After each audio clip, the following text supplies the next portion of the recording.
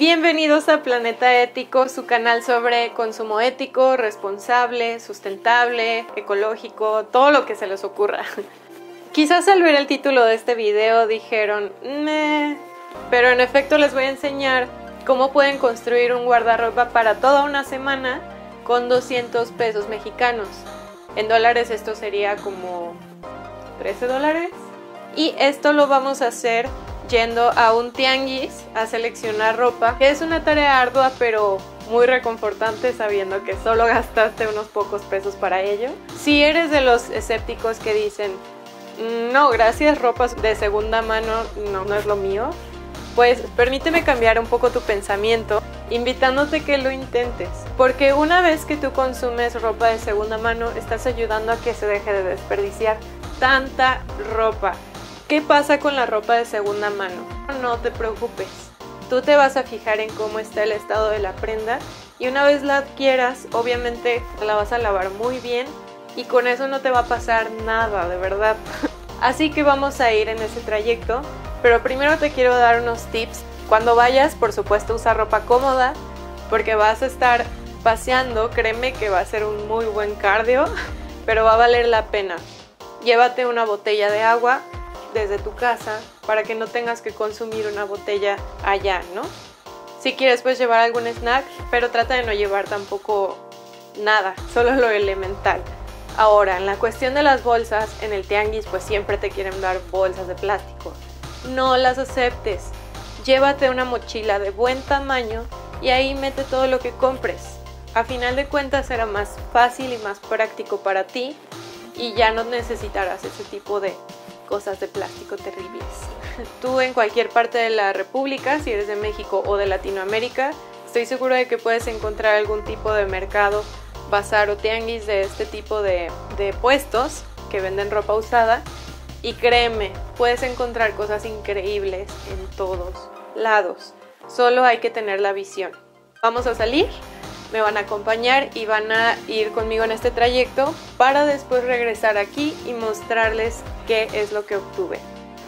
Llegamos a el Tianguis del Sol. Si ustedes son de Guadalajara seguramente saben a qué me refiero.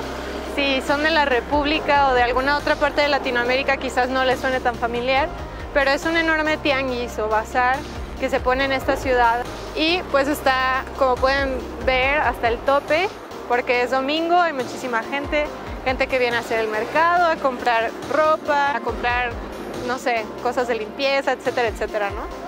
Hay un montón de puestos y es todo un laberinto, pero yo sé exactamente a dónde tenemos que ir, así que es hora de entrar.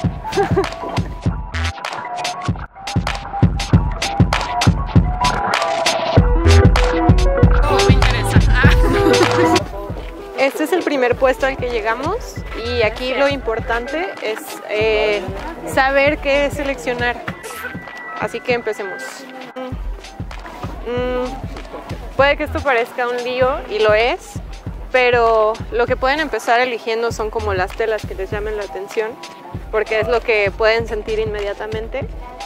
Y ya eh, al sacar algo pueden ya ver la pieza completa, ¿no?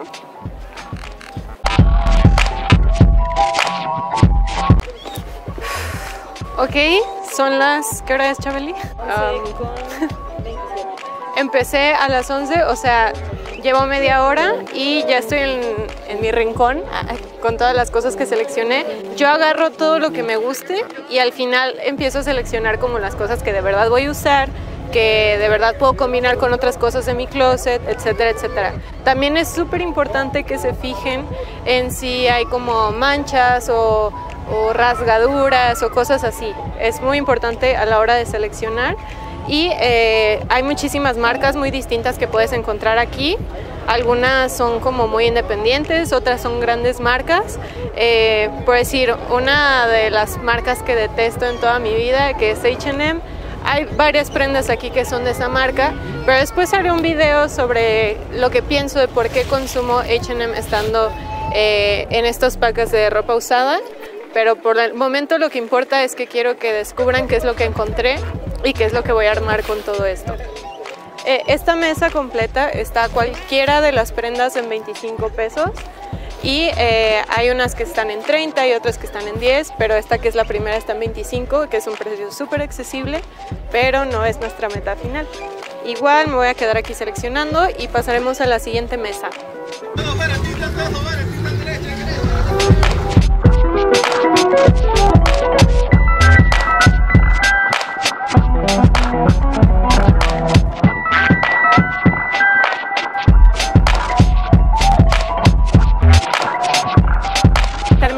Con otras mesas más, ahora en una de 15 pesos. Y pues todo está aquí en esta mochila. Aunque parezca ser muy estorboso traer una mochila, al final te ayuda muchísimo más porque todo lo metes aquí adentro y tus manos están libres. Así que vamos a ver cómo usamos esos últimos 20 pesos.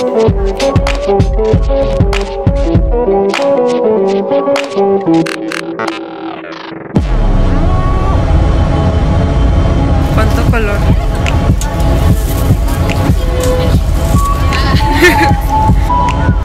Pues después de hora y media de estar en la búsqueda de mi propósito, vamos a continuar a ver si encontramos algo más, zapatos. Casi no había pantalones, entonces eso es un poco más complicado de conseguir, pero hicimos algunos descubrimientos muy interesantes.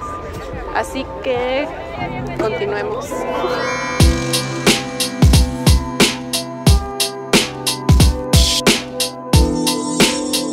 Ya llegamos Chabeli y yo y ya separé todas las prendas que conseguí por los 200 pesos y logré armar cinco conjuntos diferentes y en el fin de semana sería mezclar estas piezas para generar otros dos. Eh, voy a ir yendo prenda por prenda, quiero detallarles qué es lo que encontré en cada una, ¿no? Muy bien, comencemos. Esta es la primera prenda que les voy a enseñar. Es una falda circular, este también Dentro del tianguis puedes encontrar muchísimas tallas diferentes, pero normalmente hay para todas las personas, ¿no? Algo diferente. No es de ninguna marca en especial, pero pues está súper bien hecha, me gusta mucho la tela y además es súper combinable. A esta prenda la emparejé con esta blusa. Esta blusa, si se fijan, tiene todavía una etiqueta y bueno, es una marca que es desconocida pero se me hizo súper trendy y súper bonita, además de que el hecho de que sea nueva me asegura que pues no ha sido usada antes, ¿no? Prácticamente esto fue como comprar una blusa nueva. Estas dos piezas me salieron en 25 pesos cada una, lo que da eh, un total de 50 pesos por las dos. Estas son otras dos prendas completamente nuevas que encontré. Para empezar está esta blusita que es talla grande, o sea, está bastante grande, pero ya les mostraré ahorita cómo queda puesta, que a pesar de que es como tejida, está súper fresca y tiene mucha ventilación. Y a esta, que también es nueva, la emparejé con esta faldita. Tiene incluso todavía pegado el cartoncito y las etiquetas de dentro. Tiene una pequeña mancha como de algún tipo de salsa, pero como les dije, esto se quitará fácilmente lavándolas y quedará literalmente como nueva. El siguiente conjunto está conformado por un pantalón y una blusa. Encontrar pantalones, como les dije también, es súper difícil porque las tallas son muy distintas entre cada persona y porque al ser ropa de segunda mano, la mayoría puede que sean como de tiempos muy atrás, ¿no? Casi rozando lo vintage. Entonces hay muchas piezas que son como del 2000, 2005, en donde los pantalones se utilizaban como muy acampanados o con demasiadas piedras o demasiado a la cintura, cosas que pues la verdad en la actualidad no me gusta tanto. Entonces es un poco más complicado, pero siempre se puede encontrar una buena pieza. Encontré este pantalón que es bastante grande, pero sin embargo como tiene resorte en la parte de la cintura y tiene unos lazos que se pueden ajustar, me pareció que quedaba muy bien. Yo cuando algo no sé si me va a quedar, ahí mismo en el puesto, encima de mi ropa, me lo pruebo y es como flojito, pero es recto. Les voy a enseñar también cómo queda puesto ya montado con el conjunto. Para este pantalón compré esta blusa, eh, igual estas dos prendas, esta, esta blusa me costó 25 pesos, el pantalón me costó 15. Entonces eh, es un conjunto que en total me salió en 40 pesos. Esta blusa me, me gustó mucho el color, el patrón que tiene. El siguiente conjunto está conformado por una falda y una blusa. La falda me costó 15 pesos, la blusa 25, que nos da igual el mismo total de 40 pesos. La falda me pareció increíble, no tiene ninguna marca, pero me gustó muchísimo. También es una falda circular, la tela es súper fresca, tiene muchísima caída, me gusta un montón. Y la puse en conjunto con esta blusa súper divertida que tiene un plátano en medio. Finalmente, algo un poco más fresco, quería comprar una pieza que me sirviera para esta nueva temporada.